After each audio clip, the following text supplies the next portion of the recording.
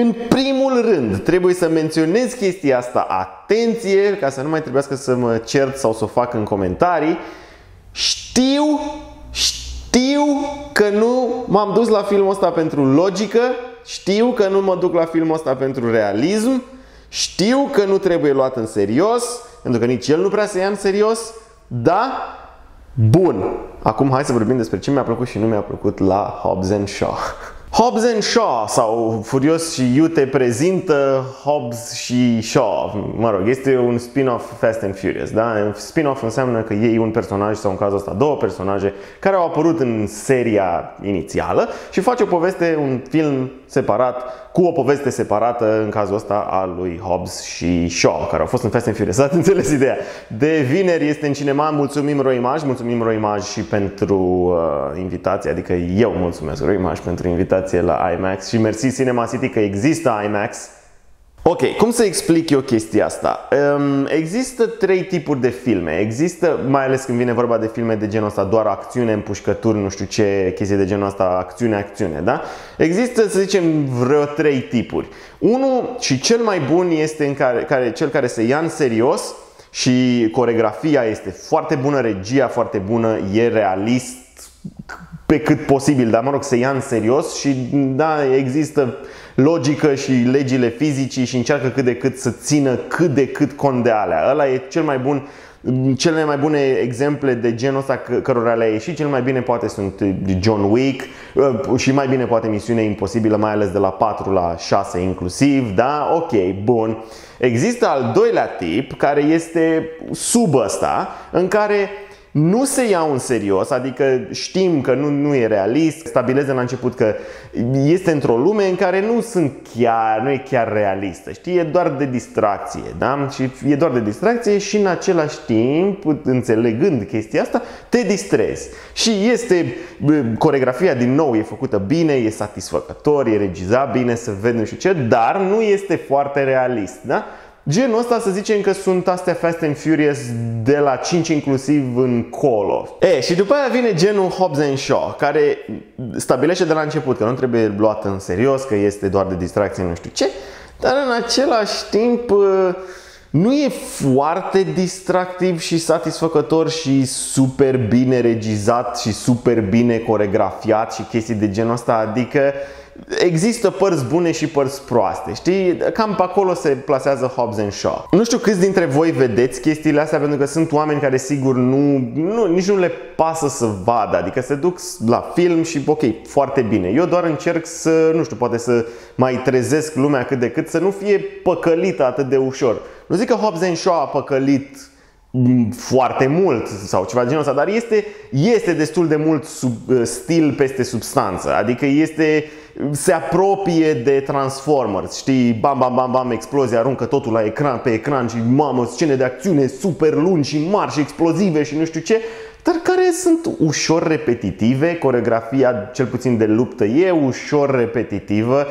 Culmea e regizat de David Leitch, care Deadpool 2, regizat uh, Atomic Blonde, unde luptele au fost mult mai bune. Nu știu care a fost faza, adică a vrut să nu ia în serios atât de mult și a vrut să se apropie atât de mult de exagerarea care este Fast and Furious, dar nu i-a ieșit la fel de bine ca în Fast and Furious chestia distractivă și nu știu ce. Parcă acolo a fost uh, regizat și coregrafiat mai bine. Nu au fost nici atât de multe lupte, într-adevăr, ok. Dar aici asta a apărut, asta a fost în filmul ăsta, pur și simplu. Mi s-a părut Că nu s-a ridicat la distracția care ar fi putut să fie sau care te face să, să te face să crezi că e. Adică eu cel puțin am văzut prin, adică stăteam și bineînțeles așteptam lupte, așteptam explozii și urmăriri și împușcături și chestii și sunt. Unele sunt ok, sunt niște scene cu motocicleta, urmăriri cu motocicleta care au fost mișto. Sunt și niște faze din astea de luptă care au fost mișto. Ajungem și la omor imediat. Dar în principal, la un moment dat îți dai seama că, ok, nu e cine știe ce, nu știu dacă din cauza că poate nici Jason Statham nu mai poate atât de mult sau poate pur și simplu, nu știu, au fost un pic mai leneși, pur și simplu, pur și simplu. Dwayne Johnson, eu cred că poate, dar nici la el, adică n-a fost coregrafia de luptă corp la corp prea grozavă, sincer. Iar scenele cu explozii, urmăriri, împușcături, bam, bam, bam, nebunie totală, la un moment dat spre sfârșit o ia razna total, adică e exagerat la maxim și ok, nu iau în serios, da? Deci nu iau în serios și nu mă uit la faptul că era absolut imposibil și încalcă legile fizicii și nu știu ce. Iau total asta, scot total asta din, din ecuație, da?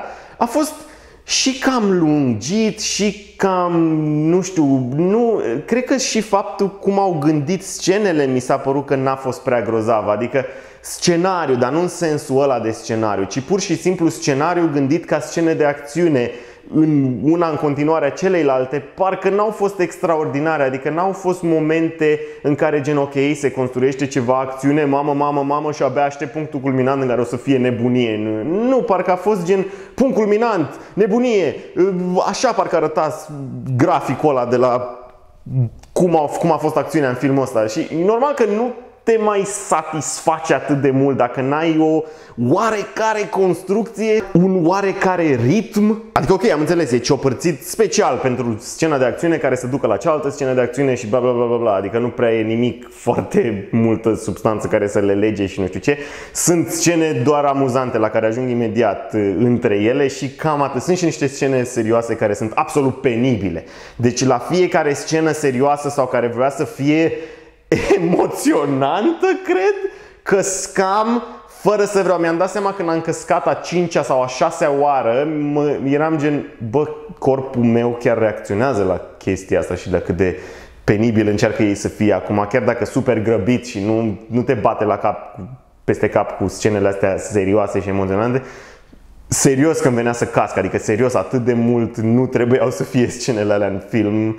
Dar mă rog, am înțeles, trebuia să fie și ceva între chestiile astea, între acțiunile, scena asta de acțiune. Deci da, hai să zicem chestia cu ciopărțitul, așa au vrut să fie, așa te așteptai să fie foarte bine, așteptai următoarele scene de acțiune. Dar am vorbit mai devreme de cum sunt scenele de acțiune. În mare parte, nu sunt toate cum am zis, repetitive și nu prea bine coregrafiate, nu știu, nu sunt toate, dar majoritatea parcă sau jumate sau mai mult de jumate. Trebuie să vorbim și despre umor, pentru că este mai mult clar comedie decât este acțiune. Deci mie, serios, mi s-a părut că au dus-o mai mult spre comedie. Și ok, cum e umorul? Și umorul e foarte subiectiv, adică au fost oameni în sală care, ok, cred că au exagerat un pic, pentru că râdeau în gura mare, erau vreo trei persoane care râdeau în gura mare, ținându-se de burtă, pur și simplu, nu că aveau burtă mare sau nu la asta mă refer, pur și simplu râdeau atât de tare la orice, orice era trebuia să însemne glumă, adică era special făcut de regizor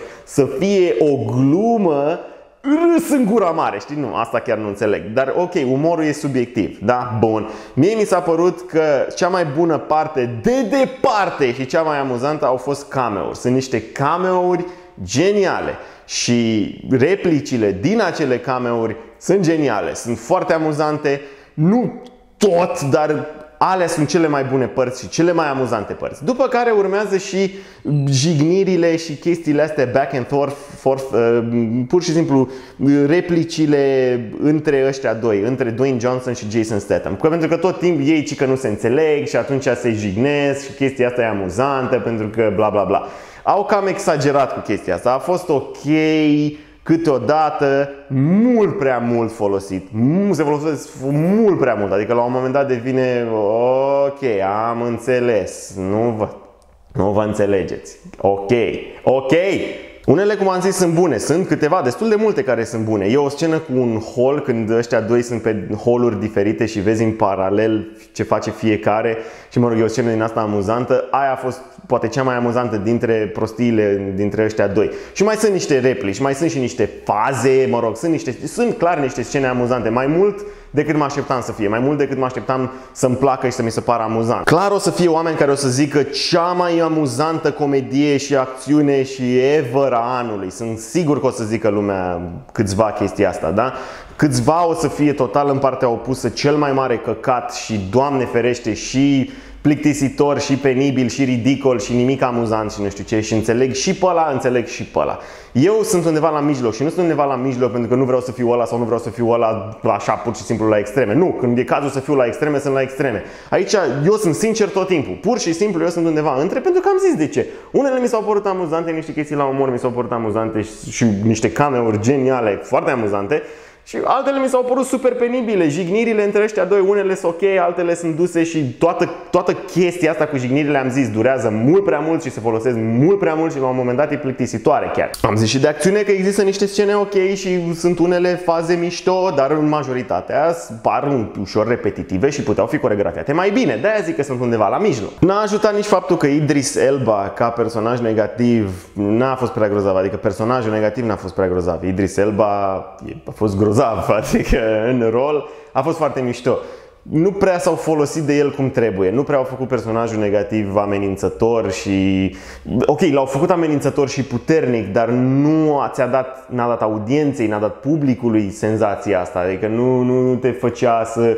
Aoleo, ce frică mie de ăla, că aoleo, o să aibă probleme cu el. Nu, pentru că na, nici filmul nu e de așa man- manieră, dar eh, este clișeul tip personaj negativ clișeic din anii 80-90 20 până în, până în ziua de azi, care apare din când în când în filme de genul ăsta, care nu prea se iau în serios. Are și o replică, are o replică, nu e spoiler că cad dacă o zic, are o replică asta, uite, să vă uitați după ea, Idris Elba la un moment dat, el e super intens, e super nervos, e super, are o agendă și cu un virus din ăsta care vrea să distrugă lumea, bineînțeles că ăștia salvează lumea și chestii de genul ăsta, da, normal, dar e atât de mamă și are o agendă și un istoric cu personajele astea și e super super nervos și nu știu ce și fiind el sigur așa și serios, la un moment dat are o replică în care ăștia trei vorbesc și așa și el zice, la un moment dat unul din ăștia doi zice că dar e genocid, it's genocide și el trece așa serios printre ei doi și face genocide și menocide.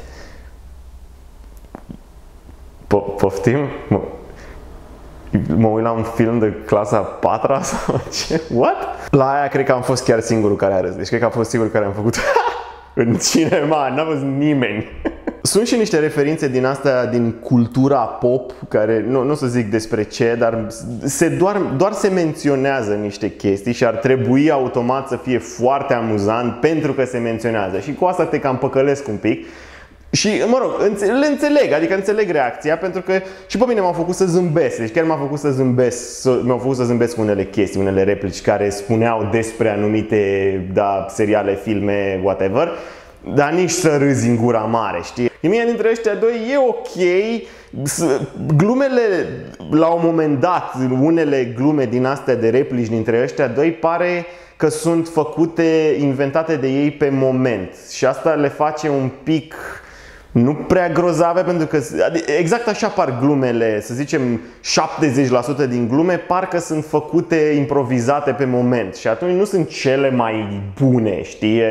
Și, și nu cred că sunt toate 70% făcute pe moment. Deci asta înseamnă, asta zice un pic despre umorul și replicile de aici. Știi, par un pic fumate, un pic parcă improvizate atunci și deci, na, nu cât de bune pot fi gândite așa pe moment. Unele da, unele mai puțin. Amândoi au carisma lor oarecum bine. Dwayne Johnson mai mult e prezență, cred să zicem, iar Jason Statham e vocea și accentul ăla și, na, și la el e o prezență, să zicem. It's a rockalodon. It's a megalodon. Bun, în concluzie am zis, este stil peste substanță, umorul am zis și despre umor, pare și lung și de fapt e cam lung. La un moment dat credeam că se termine. E o scenă în care eram sigur că se termină, adică m-am și întors, am fost cu doi prieteni și m-am și întors și am crezut, am crezut, eram sigur că se va termina la scena aia și mai urmează un sfert de film, adică wow, dar îmi pare și e prea lung, cu, cu 20 de minute prea lung, cred.